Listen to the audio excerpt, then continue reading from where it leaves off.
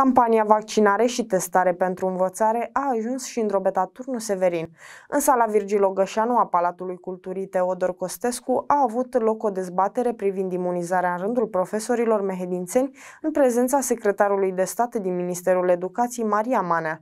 Cel mai discutat subiect a fost imunizarea, care într-un fel este impusă de guvernanți, susținând că vaccinarea este singurul instrument disponibil în prezent pentru a opri infectarea cu COVID-19. Presiunile asupra profesorilor de a se vaccina este unul dintre cele mai dezbătute subiecte la momentul actual. Campania vaccinare și testare pentru învățare a fost inițiată de Ministerul Educației și are ca scop principal informarea elevilor, cadrelor didactice și a părinților cu privire la importanța și necesitatea diminuării efectelor pandemiei prin vaccinarea voluntară a personalului din învățământ și testarea elevilor. Totodată, situația ne duce cu gândul că această campanie nu este doar pentru a informa, ci mai mult pentru a influența sau chiar de a obliga indirect cadrele didactice să se vaccineze.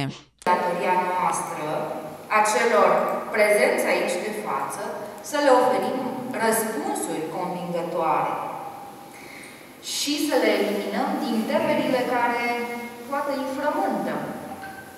Aceste temeri să fi fost acelea care să fi întârziat participarea la vaccinare sau poate alte impedimente pe care autoritatea locală le poate elimina astfel încât participarea la vaccinare să crească.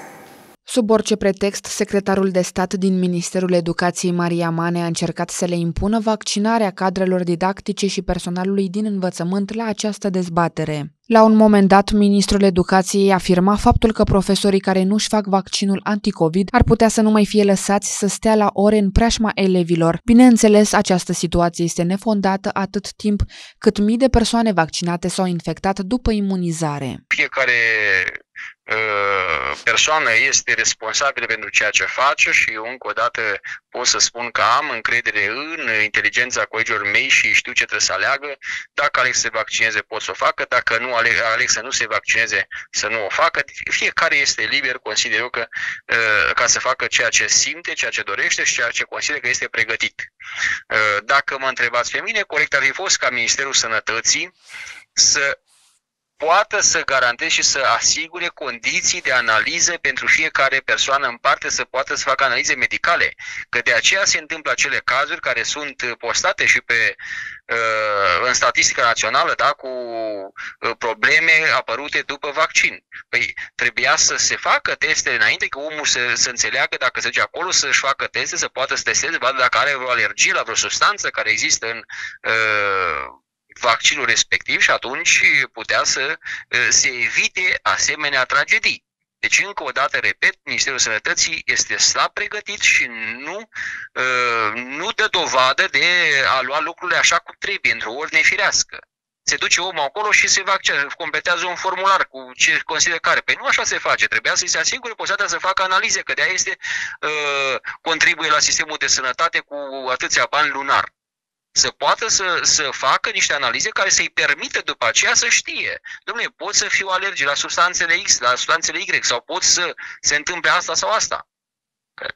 Până la urma urmei, așa consider că trebuie făcut un act medical, adică să, să fim în cunoștință de cauză cu toate elementele care sunt uh, în desfășurare actului medical. Totodată la această ședință s-a discutat despre revenirea tuturor elevilor și profesorilor în sălile de clasă după vacanța de Paște. În cadrul conferinței au fost abordate mai multe teme, a fost abordată tema vaccinării personalului din învățământ, Uh, au fost abordate teme precum proiecte europene, formarea cadrelor didactice, reducerea părăsirii timpurii a școlii de către elevi. Suntem la un procent destul de mare și uh, România are ca țintă și ea pentru perioada următoare de 10 ani de zile să reducă acest uh, renunțare la școală de către copii.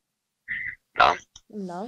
Și alte discuții uh, generate de participanți, de inspectori, de directori, de uh, reprezentantul părinților, reprezentantul elevilor, care au uh, luat în calcul în principal, adică au uh, căzut de comun acord că școala trebuie să înceapă în format fizic și